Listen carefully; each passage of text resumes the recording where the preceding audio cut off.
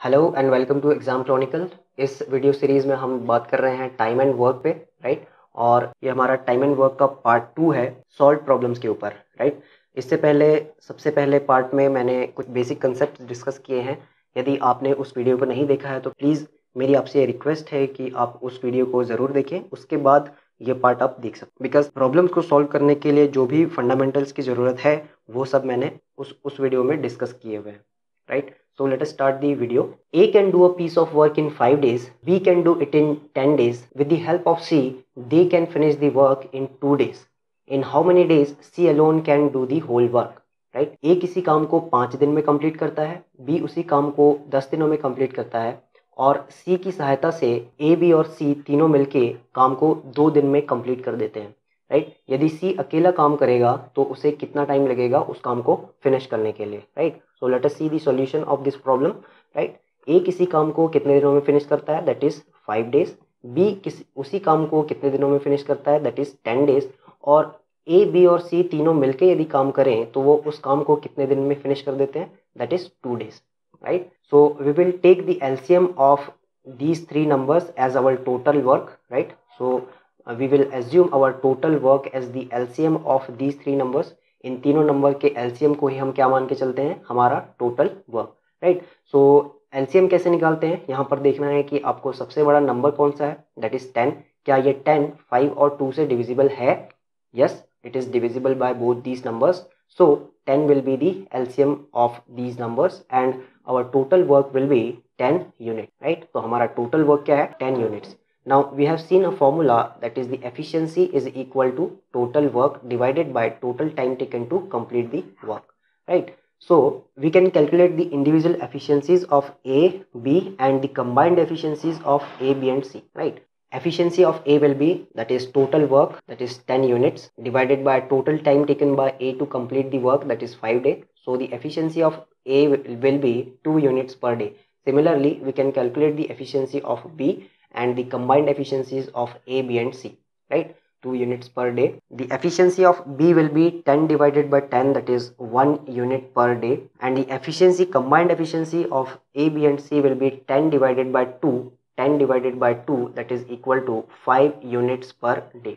right so we know that the combined efficiencies of A, B and C is 5 units per day और यदि इस combined efficiencies में से हम ए और बी की इंडिविजुअल एफिशिएंसी को माइनस कर दें तो हमें किसकी एफिशिएंसी मिल जाएगी? That is efficiency of C right so C की एफिशिएंसी क्या हो जाएगी? That is five minus two plus one that is the combined efficiency of A and B right so the efficiency of C will be what two units per day right so total number of days required days required to complete the work by C alone यदि C अकेला इस ten units के काम को two units per day की efficiency से करेगा तो उसे कितना टाइम लगेगा? Five days to complete the total work so he will do the total work in how many days five days. Right let us see another problem a can do a piece of work in 24 days and b is 60% more efficient than a then the number of re days required by b to do the same work is a किसी काम को 24 दिनों में complete कर देता है और b a से 60% ज़्यादा एफिशिएंट है राइट बी ए से 60 परसेंट ज़्यादा एफिशिएंट है है तो हमें ये बताना है कि बी उस काम को फिनिश करने के लिए कितने दिनों का समय लेगा right let is see the solution if A is hundred percent efficient यदि ए हंड्रेड परसेंट एफिशियंट है तो बी उससे सिक्सटी परसेंट ज़्यादा एफिशिएंट होगा मतलब बी कितना एफिशिएंट होगा? One sixty percent right so we will calculate the ratio of their efficiencies right ratio of their efficiencies will be calculated as that is five is to eight right यदि A एक दिन में five units per day का काम करता है तो B की एफिशिएंसी क्या होगी? Eight units per day right so then the number of days required by B to complete the total work तो हमें ये कैलकुलेट करना है कि बी काम को कितने दिनों में कंप्लीट कर देगा राइट हमें ये पत, ये पता है कि ए 24 दिनों में उस काम को फिनिश कर देता है राइट तो हम टोटल वर्क कैलकुलेट कर सकते हैं। टोटल वर्क कैलकुलेट कर सकते हैं राइट क्योंकि हमें ए की एफिशिएंसी भी पता है और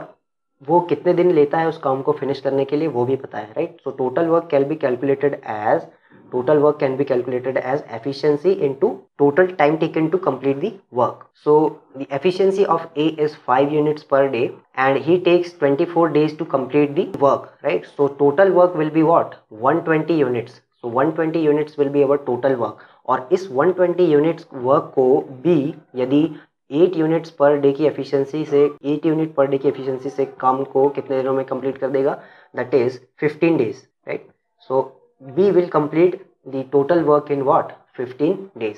So 15 days will be the answer for this problem right? यदि आपने अभी तक हमारे चैनल को सब्सक्राइब नहीं किया है तो आप सब्सक्राइब बटन पर क्लिक करके आप हमारे चैनल को सब्सक्राइब कर सकते हैं राइट right? और सब्सक्राइब करने के बाद आप यहाँ पर एक बेल आइकन देख सकते हैं उस पर क्लिक करने से जब भी चैनल पर कोई नया वीडियो अपलोड होगा तो उसका नोटिफिकेशन आपको मिल जाएगा राइट सो so, आने वाले सेशन में मैं और भी प्रॉब्लम्स डिस्कस करूँगा टाइम एंड वर्क के राइट right? इस वीडियो में फ़िलहाल इतना ही. Thanks for watching have a nice day